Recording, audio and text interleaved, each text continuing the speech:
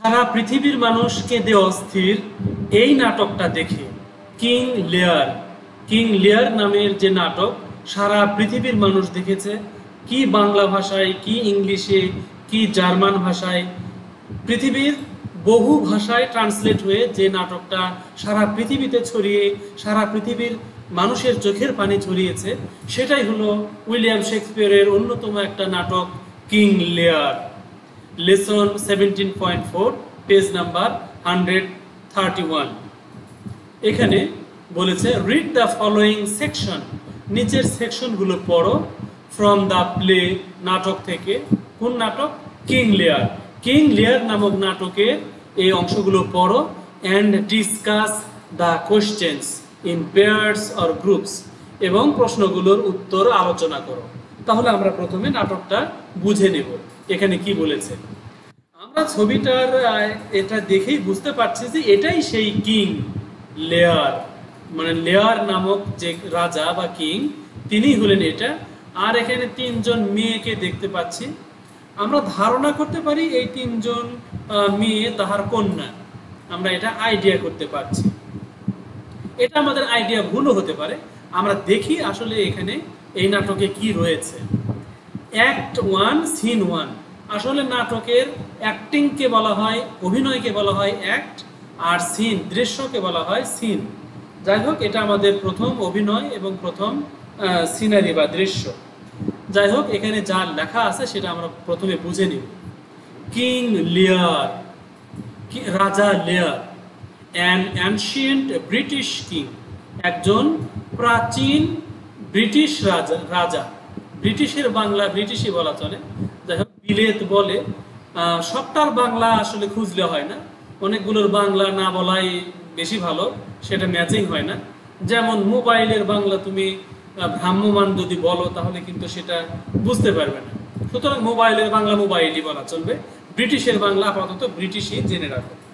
তাহলে ব্রিটিশ হলো সেই দেশ, যেটা হলো গ্রেট ব্রিটেন বলা চলে এখন, বা ইউকে ইউনাইটেড কিংডম এই দেশকে বলা হয় British.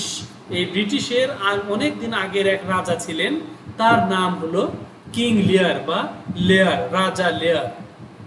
Is the main character এই কিং লেয়ারই হলো প্রধান চরিত্র ইন দ্য প্লে তোমরা এখানে প্রত্যেকটা সেন্টেন্স প্রত্যেকটা ওয়ার্ড প্রত্যেকটা বানান খেয়াল করবে, কারণ এখান থেকেই তোমাকে প্রশ্নের অ্যান্সার লিখতে হবে।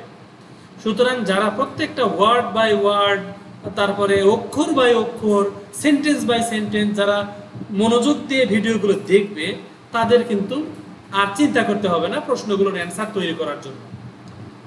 আচ্ছা তাহলে এই কিং লিয়ার, ইনি হলেন এই নাটকের প্রধান চরিত্র।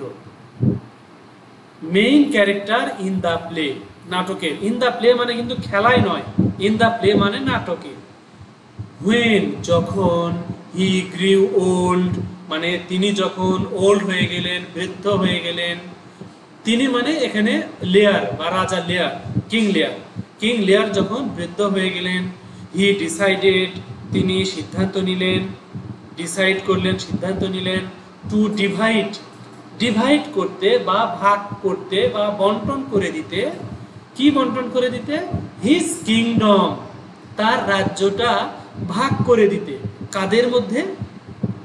Among three among his three daughters তোমরা নিশ্চয়ই জানো অ্যামং শব্দটা ব্যবহার হয় বা অ্যামং এই যে প্রিপজিশনটা ব্যবহার হয়, দুইয়ের অধিক যখন কারও মধ্যে বন্টন করা হয়, তখন অ্যামাং হয়। আর দুইজনের মধ্যে ভাগ করা হলে সেটাকে বলা হয়, তখন ব্যবহার করা হয় বিটুইন যাই হোক, এগুলো টুকটাক জিনিস তোমরা নিশ্চয়ই জানো। Among this his three daughters তার তিন কন্যার মধ্যে তার রাজ্যটাকে সে ভাগ করে দিবে। তিন ভাগে ভাগ করে দিবে। বাট কিন্তু বিফোর দ্যাট তার আগে মানে ভাগ করে দেওয়ার আগে হি ওয়াজ কিউরিয়াস তিনি কিউরিয়াস ছিলেন, উৎসুক ছিলেন বা আগ্রহী ছিলেন টু ন জানতে হুইচ অফ হিজ ডটার তার কোন কন্যা লাভড হিম মোস্ট তাকে সবচেয়ে বেশি ভালোবাসে। অ্যান্ড হাউ এবং কীভাবে সবচেয়ে বেশি ভালোবাসে, সেটা তার জানতে বড়ই ইচ্ছা করছে। তাহলে তাদেরকে দেওয়ার আগে একটা পরীক্ষা নেওয়া যাক যে তিন কন্যা কে কে রাজাকে বেশি ভালোবাসে। তাহলে আমরা এখানে ইন অ্যাক্ট ওয়ান প্রথম অ্যাক্টিংয়ে বা প্রথম অভিনয়ে সিন ওয়ান সিন ওয়ানে বা প্রথম দৃশ্যে দ্য ডায়ালগ বা সংলাপটি between the king and his daughter এই যে দেখো, এখানে দুইজন রয়েছে। তার ডটার্স আর হলো তার মানে সে রাজা, দুইজন। এই দুইজন এখানে আছে, এই কারণে বিটুইন হয়েছে। আর যদি দুইজনের বেশি থাকতো, তাহলে কিন্তু অ্যামাং হতো। ইজ অ্যাজ ফলোস তাহলে এই অভিনয়টা বা ডায়ালগটা নিচের মতো হয়েছিল, সেটা এখানে বলেছে। তাহলে আমরা এখন সিন ওয়ানে প্রথমে কে কথা বলেছে? দেখো কিং লেয়ার রাজাই প্রথমে কথা বলল, যে জনেরিল জনেরিল হলো মাই ওল্ডেস্ট ডটার মানে সবচেয়ে বড় যে কন্যা বা জ্যেষ্ঠ কন্যা, জ্যেষ্ঠ কন্যার নাম হলো জনেরিল জনেরিল হলো জ্যেষ্ঠ কন্যা। আচ্ছা মনে রাখতে পারো যে যতে জ্যেষ্ঠ, যতে জেনুরিল এইভাবে আমরা মনে রাখতে পারি যে তিন কন্যার মধ্যে প্রথমে কে ছিল? তার জ্যেষ্ঠ হলো বড়, যতে জ্যেষ্ঠ, যতে জনেরিল এভাবে আমরা মন টেকনিক করে মনে রাখতে পারি। তাহলে প্রথম কন্যা বা প্রথমা কন্যা হলেন জনেরিল তাহলে জনেরিল হলেন সবচেয়ে বড় ওদের মধ্যে। আচ্ছা রাজা যদি তিন ভাগ করে না দিতেন, তাহলে কিন্তু এই জনেরিল ইনিই কিন্তু কি হতেন?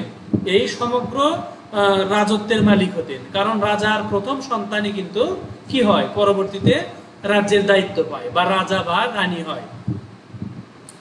যাই হোক এখন দেখো যে এই ডটার তুমি মানে প্রথমা কন্যা তুমি প্রথমে বলো যে তুমি আমাকে কেমন ভালোবাসো এবং কীভাবে ভালোবাসো। তখন জনেরিল বললেন আই লাভ ইউ আমি তোমাকে বা আপনাকে ভালোবাসি। মোর দেন মাই ওন আইসাইট আমার দৃষ্টিশক্তির চেয়েও, আমার চোখের দৃষ্টি বা চোখের চেয়েও আমি আপনাকে বেশি ভালোবাসি। I love you more than any wealth আমি যে কোনো সম্পদের চেয়েও আপনাকে বেশি ভালোবাসি। And I and I I love you আমি তোমাকে ভালোবাসি বা আপনাকে ভালোবাসি। As much as my own life আমার নিজের জীবনের মতোই আমি আপনাকে ভালোবাসি। ইনফ্যাক্ট প্রকৃতপক্ষে আসলে আই হ্যাভ নো ওয়ার্ডস আমার কোনো ভাষা নেই। এখানে ওয়ার্ডস মানে শব্দ বা ভাষা। আমার কোনো ভাষা আমি খুঁজে পাচ্ছি না। That can describe my love for you যে আপনার জন্য আমার কি পরিমাণ ভালোবাসা, এটা আমি ভাষায় প্রকাশ করতে পারছি না। এটা ডেসক্রাইব বা বর্ণনা করার মতো ভাষা আমি খুঁজে পাচ্ছি না। তারপরে কিং লেয়ার বললেন অ্যান্ড নাও এখন what does my second daughter আমার দ্বিতীয় কন্যা রিগান হ্যাভ টু সে এখন রিগান বলবে, আমার দ্বিতীয় কন্যা বলবে, রিগান বলবে টেল মি আমাকে বলো, তুমি আমাকে কেমন ভালোবাসো? তখন রিগান বলল মাই অপিনিয়ন আমার মতামত is very close to my sisters তাহলে আমার মতামতটা মানে আমার যে বড় আপু বা বড় বোন, তার সাথে একদম হুবহু মিল আছে। ভেরি ক্লোজ টু মানে তার কাছাকাছি। হাউএভার যাই হোক মাই লাভ এভার গোস ফারদার এটা কিন্তু ফাদার নয়। ফারদার মানে এর চেয়েও বা আরও তার মানে আমার ভালোবাসাটা আমার বড় আপুর চেয়েও বেশি। এটাই তিনি এই বাক্য দ্বারা বোঝাতে চাচ্ছেন। রিগেন বোঝাতে চাচ্ছেন যে আমার বড় আপু যেভাবে ভালোবাসে, আমিও সেভাবেই ভালোবাসি, কিন্তু তার চেয়েও বেশি ফর দ্য সেক অফ এখানে এই পুরো চারটা শব্দের অর্থ ফর দ্য সেক অফ এই চারটা শব্দ এক জায়গায় মিলিত হয়ে একটা অর্থ দিচ্ছে, সেটা হলো জন্য। তাহলে ফর দ্য সেক অফ মানে ফর এখানে আসলে ফর দ্য সেক অফ আর ফর একই কথা। কিন্তু এটা যেহেতু একটা ফ্রেজ জন্য বোঝাচ্ছে, জন্য। তাহলে ফর দ্য সেক অফ বা উদ্দেশ্যে ইওর লাভ আপনার ভালোবাসার জন্য আই ক্যান রিজেক্ট আমি রিজেক্ট করতে পারি, ফেলে দিতে পারি বা আমি গ্রহণ না করতে পারি অল জয়েস মানে আমি স্যাক্রিফাইস করে দিতে পারি আমার সকল হাসি খুশি অফ মাই লাইফ আমার জীবনের সকল আনন্দ হাসি খুশি আমি উৎসর্গ করে দিতে পারি। আপনার ভালোবাসার জন্য। The only happiness in my life আমার জীবনের একমাত্র সুখ হলো ইজ বা হয় ইয়োর হ্যাপিনেস আপনার সুখই আমার জীবনের একমাত্র সুখ। তাহলে রিগেন কিন্তু বোঝাতে চাচ্ছে যে সে তার বড় আপুর চেয়েও তার পিতাকে সে ভালোবাসে। এখন অবশ্যই লেটেস্ট বা ইয়ংগেস্ট যে ডটার তার পালা, সে দেখি কীভাবে ভালোবাসে? আমরা নাটকের প্রথম অংশ, দ্বিতীয় অংশ এগুলো দেখে বুঝতে পারছি যে এখানে নাটকের এখানে বুঝাবে যে তার ছোট কন্যাটা বেশি ভালোবাসে। এটা আমরা আইডিয়া করছি, দেখা যাক কি হয়। কিং লেয়ার তখন রাজা বললেন, রাজা লেয়ার বললেন, নাও, এখন ইউ, তুমি মা ইয়ংগেস্ট ডটার আমার কনিষ্ঠা কন্যা, এবার তোমার পালা। তুমি বলো, মাই জয়। এখানে মাই জয় দ্বারা বোঝাচ্ছে যে আমার আনন্দ মানে আসলে প্রত্যেকটা মানুষই ছোট মেয়েকে বা ছোট পুত্রকে কিন্তু সবচেয়ে বেশি ভালোবাসে। সবাইকেই ভালোবাসে, কিন্তু ছোটটার প্রতি বেশি ভালোবাসা থাকে, সাধারণত। তবে তার মানে এই নয় যে অন্যগুলোকে ভালোবাসে না, তা কিন্তু নয়। এই জন্যই কিন্তু আলাদা করে বলেছে মাই জয়। যে আমার আনন্দ বা আমার ছোট কন্যা, কনিষ্ঠা কন্যা, এবার তুমি বলো what can you tell me তুমি আমাকে কি বলবে দ্যাট যে that will make me give you a bigger part of my kingdom then I gave you your sister sisters speak মানে তুমি আমাকে বলো যে, তুমি আমাকে কীভাবে বা কতটুকু ভালোবাসো? আমি কি বিগার পার্ট দেখো গিভ মি মানে গিভ ইউ তোমাকে দিতে পারি আ বিগার পার্ট মানে বড় একটা অংশ অফ মাই কিংডম আমার রাজ্যের। Then I gave your sisters মানে আমি জানো তোমাকেই আমার রাজ্যের বড় পার্টটা খুশি হয়ে বেশি ভাগটা তোমাকে দিতে পারি। স্পিক তুমি বলো। কর্ডেলিয়া বলল, বা বললেন নাথিং মাই লর্ড না। মানে আমার পিতা। এখানে দেখো সে কি বলেছে? নাথিং নাথিং বলেছে। তাহলে এখানে সে কি বলল? নাথিং বলল মানে না বলল।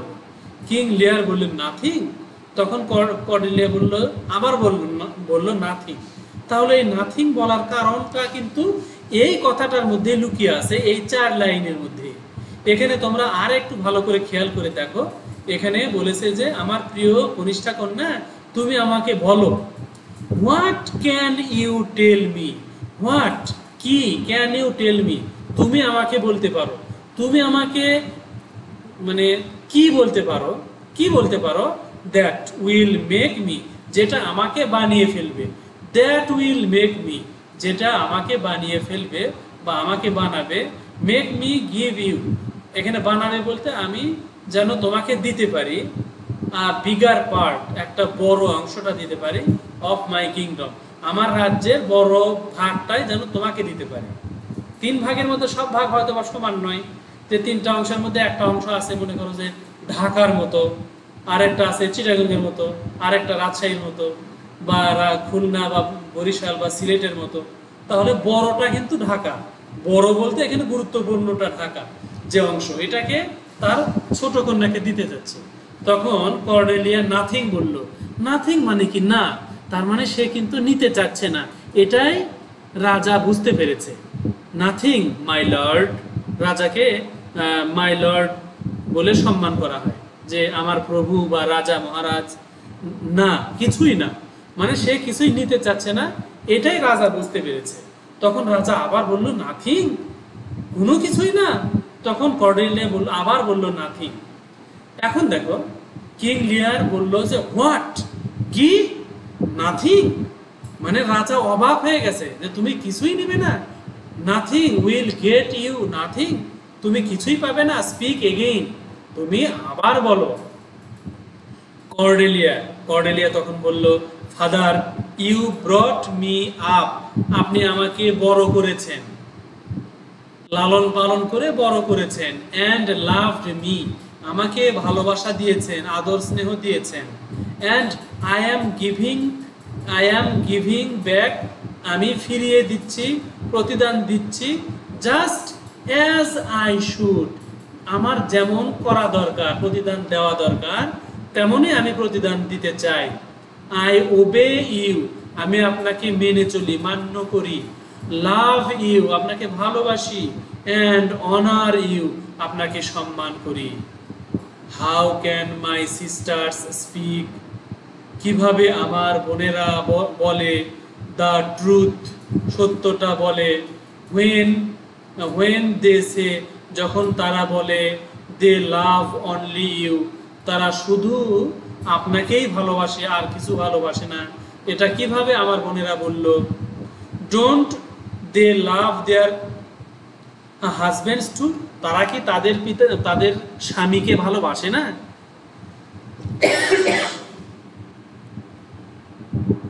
তারা কি শুধুই আপনাকে ভালোবাসে? এটাই কি সত্য? তারা কি তাদের স্বামীকে একটুও ভালোবাসে না?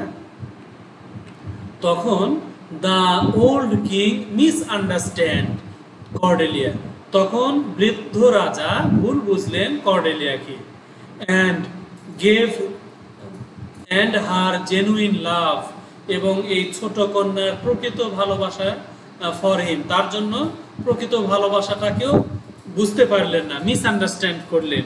মানে ভুল বুঝলেন। হি গিভস তিনি দিয়ে দিলেন। কর্ডেলিয়া নাথিং কর্ডেলিয়াকে তিনি কিছুই দিলেন না। মানে কর্ডেলিয়াকে বঞ্চিত করলেন, কিচ্ছুই দিলেন না অ্যান্ড ডিভাইডস হিজ কিংডম তার রাজ্যকে ভাগ করে দিলেন between his first and second daughter এই যে বিটুইন দ্বারা দুটা বোঝাচ্ছে। ফার্স্ট আর সেকেন্ড এই দুই কন্যার মধ্যে ভাগ করে দিলেন। হাউএভার যাই হোক টাইম প্রুভড সময়ই প্রমাণ করে দিয়েছে হু লাভড হিম জেনুইনলি কোন মেয়েটা, কোন কন্যাটা রাজাকে প্রকৃতপক্ষে ভালোবাসতো জেনুইনলি প্রকৃতপক্ষে বা আসলেই। অ্যান্ড হু টোল্ড লাইস কারা মিথ্যা বলেছিল টু ফ্ল্যাটার হিম তাকে ফ্ল্যাটার করতে বা তার তোষামত করতে। ফ্ল্যাটার মানে তোষামত করা। দেখবে যে অনেক লোক এমন আছে, কোনো অফিসারের সামনে গিয়ে বা রাজা মানে নেতার সামনে গিয়ে তার প্রশংসা করে। প্রশংসা করা খারাপ কিছু না মানে অতিরিক্ত প্রশংসা করে। যেটা সত্য নয়, সেটাও বলতে চায়। বলে মানে নেতাকে বা অফিসারকে খুশি করে সে তার উদ্দেশ্য হাসিল করতে চায়। এটা আসলে চিটিংদেরই বেশি কাজ। তাহলে এখানে আমরা দেখতে পাচ্ছি যে এই নাটকের একটা সংক্ষিপ্ত অংশ এখানে দিয়েছে। আরও মানে গুরুত্বপূর্ণ অংশগুলো কিন্তু এখানে লেখা হয়নি। জাস্ট একটা সিন এখানে দেওয়া হয়েছে। আর বাকি অংশটাই কিন্তু এখানে দেওয়া হয়নি। সুতরাং আমরা যে নাটকের একটা অংশ পড়লাম, এটাই দ্বারাই বুঝতে পারছি যে আমরা এই নাটকটা, এই বুঝতে পারলাম যে নাটকটা খুবই আকর্ষণীয় এবং হৃদয় বিদারক ঘটনা রয়েছে। সুতরাং এটা একটা অন্যতম ট্রাজেডি প্লে বা ট্রাজেডি নাটক বা দুঃখের নাটক এটা। তাহলে তোমরা ভিডিওগুলো লাইক, কমেন্ট, শেয়ার করো, ফলো করো, সাবস্ক্রাইব করো। আর আমাদের এই মহৎ কাজে তোমরা অংশগ্রহণ অলরেডি করেই ফেলেছো। তোমার কারণে আরও কেউ যদি অংশগ্রহণ করে তাহলে অবশ্যই তোমার পুণ্য লাভ হবে পরকালে।